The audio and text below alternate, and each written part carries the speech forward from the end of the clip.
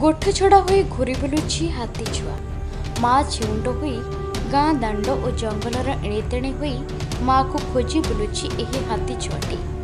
ହାତୀ ଛୁଆର ଗତିବିଧି ଉପରେ ନଜର ରଖିଛି ବନ ବିଭାଗ ଏଠାରେ ପ୍ରଥମେ କହି ରଖିବା ପାଇଁ ଚାହୁଁଛୁ କି ଗତ କିଛି ମାସ ହେବ ବାରିପଦା ବନଖଣ୍ଡର ବିଭିନ୍ନ ରେଞ୍ଜରେ ଶହେ ପଚାଶରୁ ଦୁଇଶହ ଝାଡ଼ଖଣ୍ଡି ହାତୀ ନିଜ ନିଜ ଗୋଠରେ ଗାଁ ପାଖ ଜଙ୍ଗଲମାନଙ୍କରେ ରହି ଲଗାତାର ଭାବେ ଧନଜୀବନ ହାନି ଘଟାଇ ଚାଲିଛନ୍ତି। ତେଣୁ ଏହି ହାତୀ ଛୁଆଟି ସେହି ପଲମାନଙ୍କରୁ ଖସି ଆସିଥିବା କୁହାଯାଉଛି।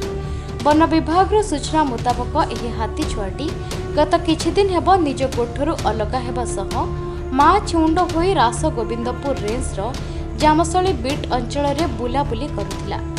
ବନ କର୍ମଚାରୀମାନେ ଏହା ଦେଖିବା ପରେ ହାତୀ ଛୁଆଟି ଉପରେ ନଜର ରଖିବା ଆରମ୍ଭ କରିଥିଲେ। ବୁଲୁ ବୁଲୁ ଛୁଆ ହାତୀଟି ଗତକାଲି ରାତି ଏଗାରଟା ପାଖାପାଖି ସମୟରେ ବେତନଟି ରେଞ୍ଜ ଅଧୀନ କୃଷ୍ଣଚନ୍ଦ୍ରପୁର ଜଙ୍ଗଲରେ ପ୍ରବେଶ କରିଥିଲା ଏବଂ ଆଜି ସକାଳ ସମୟରେ ସେ ଦନ୍ତିଆ ମୁହାଁ ଓ ଧନପୁର ଅଞ୍ଚଳର ଗାଁ ଦାଣ୍ଡରେ ବୁଲୁଥିବାର ଦୃଶ୍ୟ ଦେଖିବାକୁ ମିଳିଛି। ତେବେ ବର୍ତ୍ତମାନ ସମୟରେ ହାତୀ ଛୁଆଟି ବେତନଟି ରେଞ୍ଜ ଖଡ଼ିଶୋଳ ଜଙ୍ଗଲରେ ରହିଛି ଏବଂ ଏହା ଉପରେ କିଛି ବନ କର୍ମଚାରୀ ମଧ୍ୟ ନଜର ରଖିଥିବା ନେଇ ବନ ବିଭାଗ ପକ୍ଷରୁ ସୂଚନା ରହିଛି।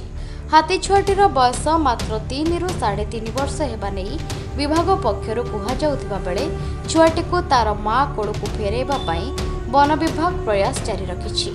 ହାତୀ ଛୁଆମାନେ ସାଧାରଣତଃ ତିନିରୁ ଚାରି ବର୍ଷ ଯାଏ ମା କ୍ଷୀର ଖାଇଥିବା ବେଳେ ଏତେ କମ୍ ବୟସରୁ ମା ଛେଉଣ୍ଡ ହେବା ଘଟଣା ହାତୀ ଛୁଆଟି ପାଇଁ ବିପଦ ସୃଷ୍ଟି କରିପାରେ ବୋଲି ସାଧାରଣରେ କୁହାଯାଉଛି। ମୟୂରଭଞ୍ଜରୁ ଦିନେଶ କୁମାର ସେଠୀଙ୍କ ରିପୋର୍ଟ ସକାଳ ଖବର